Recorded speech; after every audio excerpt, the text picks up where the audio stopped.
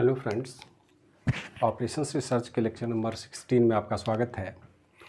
इस प्रॉब्लम में हमने पिछले ही प्रॉब्लम को कंटिन्यू किया है लेकिन हमने मेथड बदल दिया। अब हमारा जो मिनिमम बेसिक फिजिबल सॉल्यूशन हम फाइंड करेंगे लेकिन हम लिस्ट कॉस्ट मेथड की बात कर रहे हैं। लिस्ट कॉस्ट मेथड कहने का मतलब सीधा है कि हमारे जो फैक्ट्री में प्रोडक्शन है जो 50, 100, 150 का है और retail agency one two three four five इन पाँचों ही रिटेल एजेंसी में ट्रांसपोर्टेशन कॉस्ट दिया हुआ है सेल वैल्यू के रूप में। हमें फाइंड करना सबसे मिनिमम कॉस्ट में डिस्ट्रीब्यूशन कैसे हो? तो मिनिमम कॉस्ट की जब बात होगी तो सबसे पहले हमें क्या करना होगा? हम देखेंगे कि फैक्ट्री से जो सबसे नज़दीकी रिटेल स्टोर हो, जहाँ पर कॉस्ट हमारा सबसे कम हो पर यूनिट उसको पहले सप्लाई करेंगे। तो ये जो कॉन्सेप्ट है, इसी कॉन्सेप्ट को ध्यान में रखते हुए ये हमारा बैलेंस्ड प्रॉब्लम है, जो पिछले लेक्चर में भी देखा था। पिछले लेक्चर में नॉर्थ वेस्ट कॉर्नर मेथड से हमने फाइंड भी किया था ट्रांसपोर्टेशन कॉस्ट लेकिन अब हम मेथड बदल रहे हैं तो देखते हैं कि कोई असर पड़ता है कि नहीं। सबसे पहला काम है कि टोटल हम एजेंसी और फैक्ट्री के ट्रांसपोर्टेशन कॉस्ट को देखेंगे। तो सबसे पहला डिस्ट्रीब्यूशन हमारा पहले में ही मिल गया।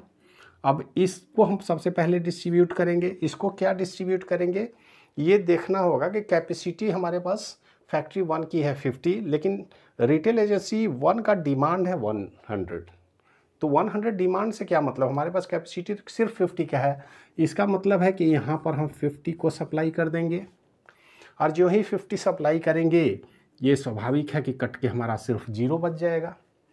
और ज़ीरो बचेगा तो अब इस फैक्ट्री के प्रोडक्ट को हम कहीं भी, किसी भी और दूसरे एजेंसी को सप्लाई नहीं कर सकते क्योंकि ऑलरेडी हमने 50 सप्लाई कर दिया। और यहाँ पर जो हमारा ये डिमांड था, ये अब हो गया है 50 क्योंकि 50 का ऑलरेडी हमने सप्लाई कर दिया। अब दूसरा कौन सा रिटेल स्टोर को सप्लाई करें? तो यहाँ पर अब स्कैनिंग करना होगा। हम देखेंगे सबसे लिस्ट कॉस्ट क्या है। तो दूसरे में हमारा ये फिफ्थ रिटेल स्टोर का भी कॉस्ट मिनिमम है।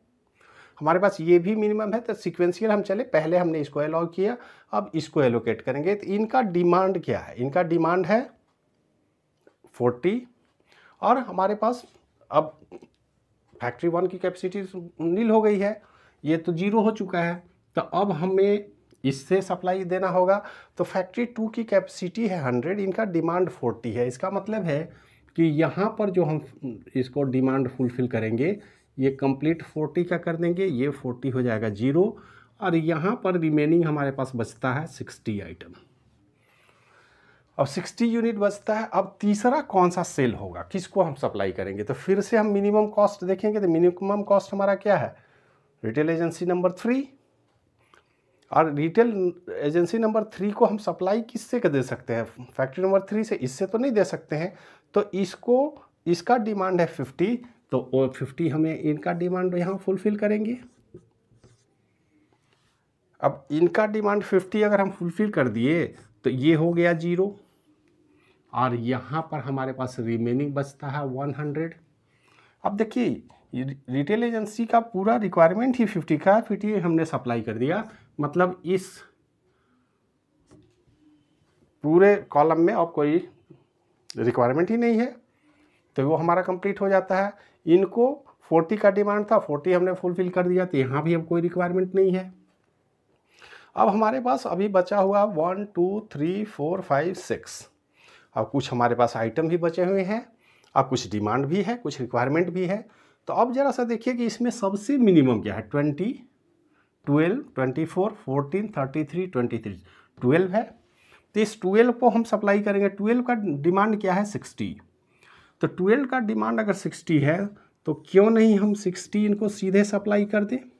और ये सिक्सटी हमारा हो जाएगा ज़ीरो, और ये सिक्सटी भी ज़ीरो हो जाएगा।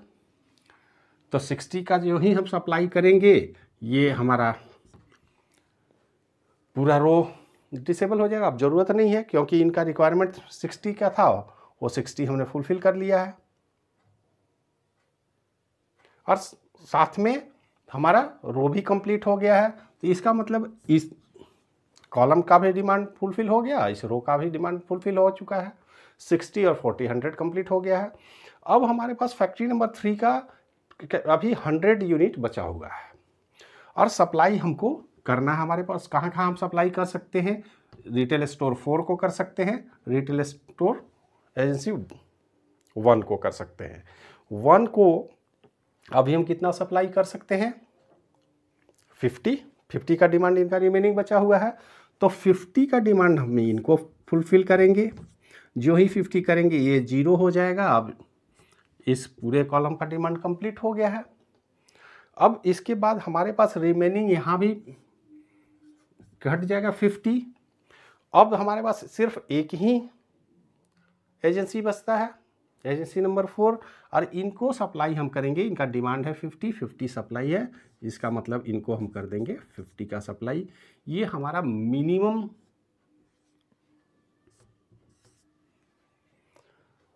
कॉस्ट में हम क्या कर सकते हैं वो हमने दिखाया। हमने क्या किया? सबसे पहले पूरे ट्रांसपोर्टेशन कॉस्ट को हमने स्कैन किया, जो सबसे मिनिमम था। उनको हमने सप्लाई किया। अगर टाई होता है दो तीन अलग अलग सेल में सेम ही वैल्यू है, सेम कॉस्ट है तो सबसे पहले क्या करेंगे? रो वन से शुरू किया तो वन को दिया, फिर टू को दिया, फिर थ्री को दिया। इसके बाद उसके अपर मिनिमम लिमिट में जाएँगे। मतलब इससे लिस्ट कॉस्ट, जब ये तीनों मिनिमम को हमने कंप्लीट कर दिया तो उसके बाद लिस्ट कॉस्ट हमने देखा कि अब कहाँ दिया जा सकता है। तो हमारे पास लिस्ट कॉस्ट उसके बाद आता है, ट्वेल्व। ट्वेल्व को सप्लाई किया, फिर फोर्टीन को सप्लाई किया। उसके बाद हमने ट्वेंटी थ्री को सप्लाई किया, हमारा काम कंप्लीट हो गया। अब ज़रा सा देखिए कि कॉस्ट आएगा कितना। तो जो नॉर्थ वेस्ट कॉर्नर मेथड में हम बनाए थे पिछले क्लास में, आपको याद होगा, वो था four four two zero rupees. इनका कॉस्ट क्या होगा? तो कॉस्ट कैसे हम फाइंड करेंगे?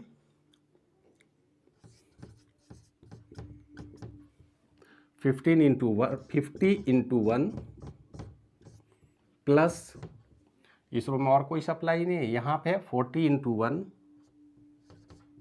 forty into one plus sixty into twelve sixty into twelve plus fifty into one into one इसको ब्रैकेट में हम करते जा रहे हैं ताकि हमको प्रोसेस ऑर्डर भी याद रहे, कोई कन्फ्यूज़न ना हो। Fifty into one one, two, three, four, five. One, two, three, four. ये अभी बचा हुआ ठीक है, कोई बात नहीं। Order fifty into fourteen, plus fifty into twenty three.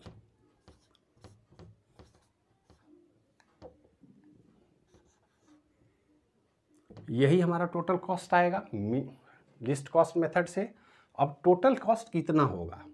तो ये equal to fifty plus forty plus six hundred plus fifty plus fifty into fourteen seven hundred